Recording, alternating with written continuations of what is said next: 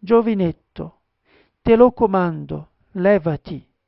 E il morto si alzò e si pose a sedere e guardava all'intorno e cominciò a parlare.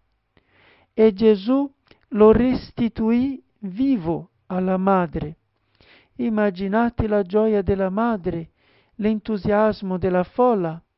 Quelli che non conoscevano ancora Gesù dicevano, egli è un profeta. Gli apostoli dice, dicevano, anche la morte li ubbidisce. Sì, anche la morte obbediva a Gesù.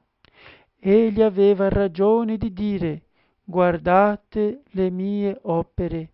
Coloro che guardavano le sue opere dicevano, Gesù è onnipotente, Gesù è Dio. Ma i miracoli di Gesù dicevano anche un'altra cosa, dicevano che Gesù era buono.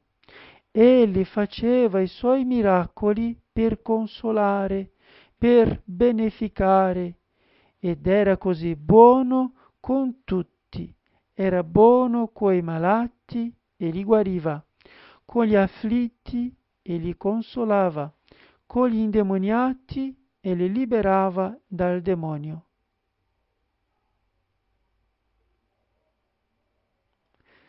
chiediamo molto a Gesù onnipotente e pieno di bontà di aiutarci. Noi abbiamo tanto bisogno, cari bambini, dell'aiuto di nostro Signore e Gesù ha promesso di non rifiutare mai il suo aiuto a coloro che lo chiedono. Gesù ha detto chiedete e vi sarà dato cercate e troverete, bussate e la porta vi sarà aperta.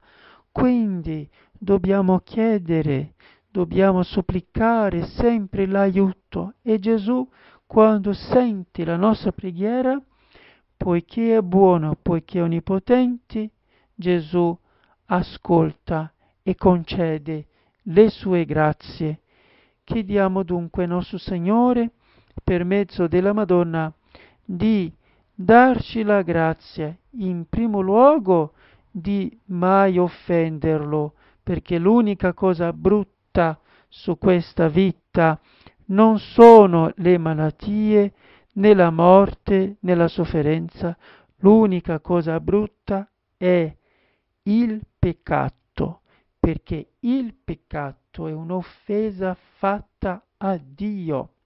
Il peccato è la vera malattia dell'anima.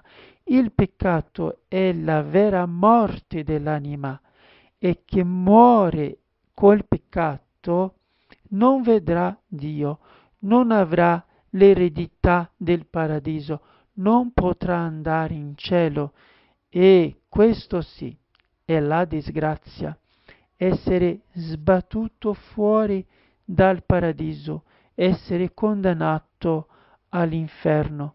Allora la prima cosa da chiedere a Gesù, Gesù, dammi la grazia di piuttosto morire che peccare.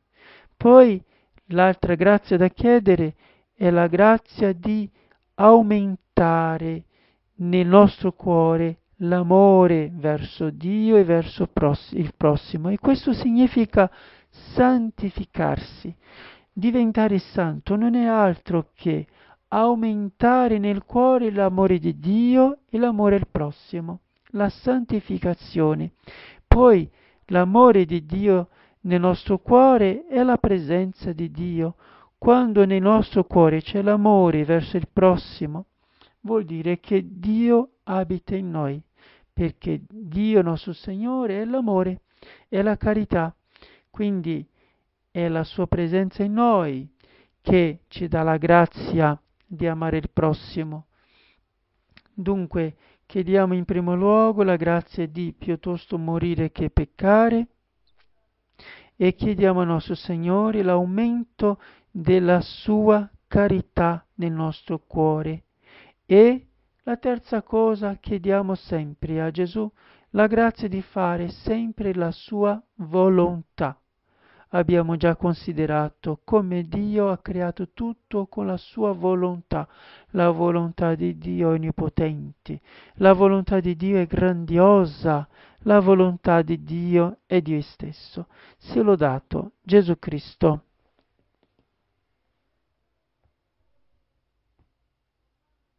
Oggi c'è radioromalibera.org, la prima emittente di podcast cattolici in Italia. Per saperne di più è possibile visitare il sito www.radioromalibera.org.